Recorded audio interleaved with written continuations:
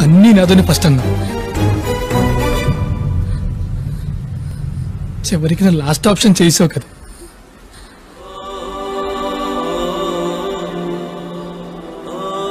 ఎంత ప్రేమించని నేను